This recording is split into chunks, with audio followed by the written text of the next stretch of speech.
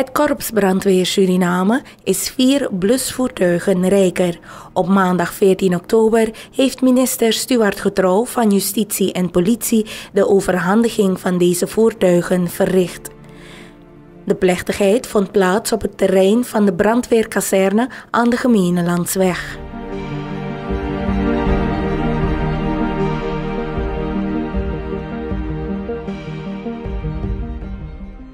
Ik wil van deze plaats uit aangeven dat ons beleid niet gericht is op het aanschaffen van tweedehands blusvoertuigen.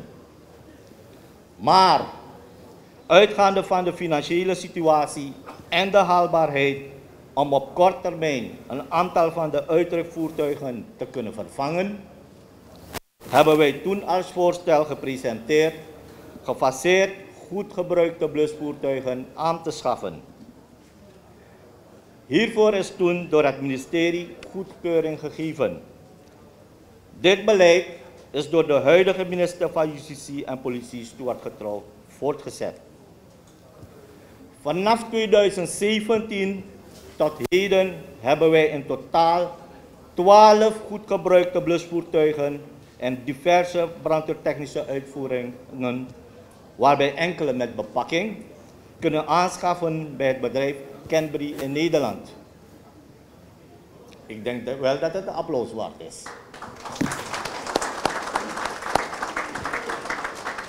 Ik ben een beetje emotioneel. En ga ik jullie zeggen waarom.